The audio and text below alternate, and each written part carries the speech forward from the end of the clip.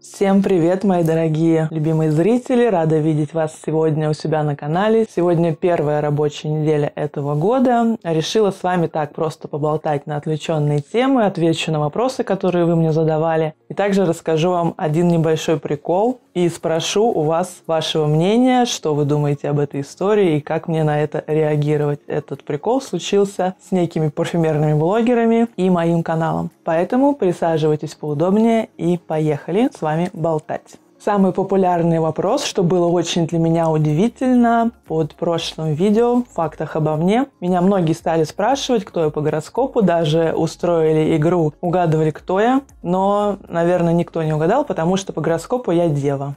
Также меня спрашивали, кто я по соционике. Я даже не знала, что это такое соционика. Нашла тест, прошла его и узнала, что по соционике я политик, Наполеон, сенсорно-этический экстраверт. И, кстати, мои дорогие, вы обо мне все знаете, а я о вас ничего не знаю, поэтому пишите мне в комментариях, кто вы по гороскопу и кто вы по соционике. Под прошлым видео вы мне задавали также вопросы, и вопрос был такой от зрителя. Каких пар блогеров вы смотрите, покупали ли парфюм по их совету, ваш в этом опыт? У меня разочарование в основном при покупке вслепую происходит, но бывают и открытия вслепую. Я раньше, когда сама не вела свой канал, не смотрела особо каких-то парфюмерных блогеров, очень редко. Я смотрела один канал, там девушка уже несколько лет не выпускает видео сейчас, и я покупала парфюмы по ее совету, они мне не нравились. Ну, вообще, блогерское парфюмерное болотце, оно довольно небольшое здесь на Ютубе. А парфюмерных блогеров, которые регулярно выпускают свои видео и не останавливаются, и того меньше. И я как-то не особо смотрела до того, как у меня появился свой канал каких-то блогеров. Но когда я стала выкладывать свои видео, мне YouTube стал рекомендовать видео других блогеров. И я узнала, как на самом деле много этих парфюмерных блогеров, но на самом деле, если так приглядеться, и не особо много. Но времени на просмотры каналов каждого видео парфюмерных блогеров у меня нет, потому что я работаю 5 дней в неделю. Также я активно занимаюсь своим YouTube-каналом, выкладываю 3 видео в неделю. Кроме того, чтобы их выложить, нужно придумать тему, снять видео и смонтировать видео. Это тоже занимает очень много времени, поэтому смотреть каких-то других блогеров времени нет. Но периодически я могу посмотреть какое-то видео тех блогеров, которые YouTube мне рекомендует, либо тех блогеров, которые пишут мне комментарии, с которыми у нас такой своеобразный коннект создался. Вот видео тех блогеров, которые меня комментируют, э, я могу посмотреть. И, кстати, обычно мой вкус не особо совпадает с другими парфюмерными блогерами, но есть такие каналы, которые я раньше даже смотрела, даже понимая, что вкусы не совпадают, но мне было просто интересно смотреть, красивая картинка, красиво снимают флаконы и так далее. А сейчас, мои дорогие, я с вами поделюсь одной забавной историей про то, как парфюмерные блогеры украли у меня мой текст из описания к видео. Это такой смех. Короче, есть у меня такие преданные подписчики, которые знают, как выглядит мой канал. Если вы не знали, то под каждым видео есть инфобокс, так называемый, или описание к видео. Там, кстати, заглядывайте, смотрите разные интересные ссылки на мои прошлые видео. И у меня под каждым моим видео в этом описании был создан такой текстовый кусочек. Каждое слово в этом текстовом кусочке лично мной прописано и придумано. Эти слова — это не просто слова, взятые с потолка, это те темы, на которые я в хронометрической последовательности снимала свои видео. То есть это описание, вот этот текстовый блок, он у меня периодически под каждым видео меняется в зависимости от того, какие тематики у меня были последних видео. Ставлю вам скрин, чтобы вы проще поняли, как выглядит этот текстовый блок у меня в описании к каждому моему видео. Также эти слова отображают, естественно, тематику моих видео. Там есть и уникальные слова. Это такие видео, которые я снимала лично со своими названиями. У меня даже есть отдельный плейлист вот с тем уникальным словосочетанием, который есть в этом текстовом блоке. Короче, это такое облако, связанное с моими видео, то есть с их тематикой. То есть это не просто слова, взятые с потолка. Эти слова лично мной придуманы, и каждый раз эти слова я меняю. И начинается этот текстовый блок со слов «возможно, вы искали», и дальше идут эти слова, и разделяет их такая ровная палочка. И один мой подписчик, зная, как выглядит мое описание к видео, мне присылает скрин. Сначала одного парфюмерного блогера, а затем и другого. Они украли этот мой блог и вставили себе под видео. Причем один парфюмерный блогер, который уже несколько лет снимает видео на YouTube, вставил этот мой текст, эти мои теги под каждым своим видео, даже под старыми видео, и абсолютно их не меняя, то есть ни одного слова не изменил, то есть слово в слово, даже со словами «возможно, вы искали». Второй парфюмерный блогер догадался убрать слова «возможно, вы искали», но остальные слова остались слово в слово. То есть они украли кусок Кусок описания к моим видео, представляете? Причем эти люди снимают годами. Они сидят на ютубе годами, но по количеству просмотров мои видео наравне с этими двумя блогерами. Один, кстати, из этих блогеров за несколько лет результат у него и по подписчикам, и по просмотрам намного меньше, чем у меня. А я снимаю свои видео на парфюмерную тему всего 4 месяца, а вообще канала у меня и полугода нет. И они, эти мастодонты Ютуба, скопировали у меня мое описание себе. Я бы не стала на самом деле вам об этом рассказывать, потому что, ну, скопировали и скопировали. Это просто забавно. Это только подтверждает тот факт, что они за мной следят, они мои видео смотрят, хотя они никогда мои видео не комментировали, но получается, что они меня смотрят, они украли мой текст, мои теги. Я бы не стала об этом вам рассказывать, если бы не еще одна информация, которую также предоставил мне мой преданный подписчик. На одном из стриме вот этого второго блогера, который по результатам за несколько лет далеко позади меня, на одном из своих стримов, сидя с моими тегами, то есть у него на стриме вот эти мои теги, он меня оскорбляет не называя моего имени, но речь шла конкретно про меня. И вот этот человек, вот этот вот парфюмерный блогер, меня оскорбляет, сидя с моими украденными тегами. Вот как вам такое нравится? Мне просто самой от всей этой ситуации очень смешно, на самом деле. Люди своими поступками показывают свою собственную сущность и то, кем на самом деле они являются. Сидя с моими тегами, которые полностью отражают тематику моего канала, каждое мое видео меня оскорбляют. Вот так, мои дорогие. Такие вот они парфюмерные блогеры. Я на самом деле не знаю, как к этому относиться, радоваться этому, не радоваться. То есть я такой зародыш на Ютубе, канал зародыш, можно сказать, на Ютубе, да, и меня уже копируют, меня обворовывают и вставляют мое описание в свои видео и в свои стримы, и меня же и оскорбляют. Зависть – плохое чувство, мои дорогие. Вот такую вам историю рассказала забавную. Это случилось буквально вот на днях. И напишите мне в комментариях, что вы по этому поводу скажете и как мне на это реагировать. Я бы не стала об этом рассказывать, если бы не вот эти оскорбления в стриме. А теперь еще хочу поговорить про YouTube. Большинство моих любимых зрителей адекватные люди. Я вас просто обожаю, ценю за то, что вы меня смотрите, за то, что вы меня комментируете, пишете мне добрые, приятные, душевные слова. Но есть такие, знаете, единицы самых преданных фанатов, моих хейтеров. Мне пишут вот такие вот комментарии, почему же они поставили мне пальчик вниз. Знаете, так как я очень люблю изучать поведение людей, я поняла, что YouTube-канал, свой личный YouTube-канал, это просто супер классное место, чтобы изучать поведение людей. Есть такая народная мудрость. У кого чего болит, тот о том и говорит. Помните об этом, когда вы пишете какие-то негативные, особенно комментарии, потому что все ваши боли, так скажем, психические, психологические, они в этих комментариях я заметила такую тенденцию, что все эти комментарии в негативном ключе, они такие, знаете, во-первых, с претензией, что им не нравится, вот монтаж у меня не такой, кофта у меня не такая, а говорю я с ошибками, коверкую слова. И еще, во-первых, они высказывают свои претензии к моей кофте, к моей речи, к монтажу и так далее. Во-вторых, они хотят, чтобы я сделал обязательно, как они хотят. И в-третьих, они меня пытаются пристыдить. Вот это самое смешное. Как тебе не стыдно? Позор!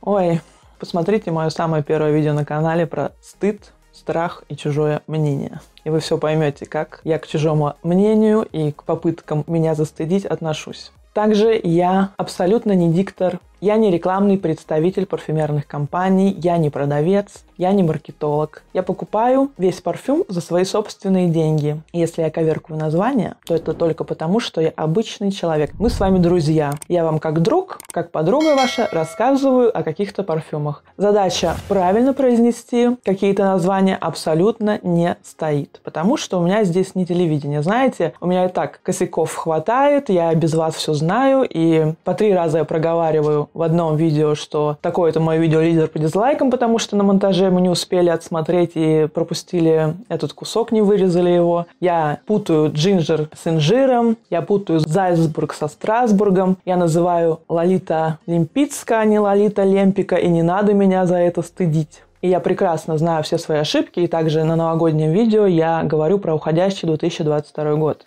Это просто видео обычного живого человека. И, кстати, еще интересен феномен дизлайков. Вот одна зрительница мне писала под одним моим видео, что зачем люди ставят дизлайки, просто проходите мимо, если вам не нравится. Вот это самая большая загадка YouTube. У меня, кстати, есть, по-моему, самых преданных фанатов. Преданные фанаты — это хейтеры. У меня под каждым видео постоянно 5 дизлайков. Поэтому я абсолютно живой человек. Я не стараюсь выглядеть в ваших глазах лучше, чем я есть. Я абсолютно такая, какая я есть. Да, я говорю с ошибками. Да, у нас есть косяки по монтажу. Но извините, я не телевидение, у меня нет 20 человек команды в штате. Поэтому, да, есть ошибки. Да, я неправильно произношу слова. И что? И что? И что? И что? Ничего. Короче, поняли хейтеры мои, да? Не тратьте свое время. Вот человек просто сел и написал мне огромный текст. Потратил время. Зачем? Чтобы ему объяснили, куда засунуть его пальчик вниз? Кстати, у нас принято очень сильно, многие заблуждаются и путают доброту со слабостью. Никогда не надо это путать.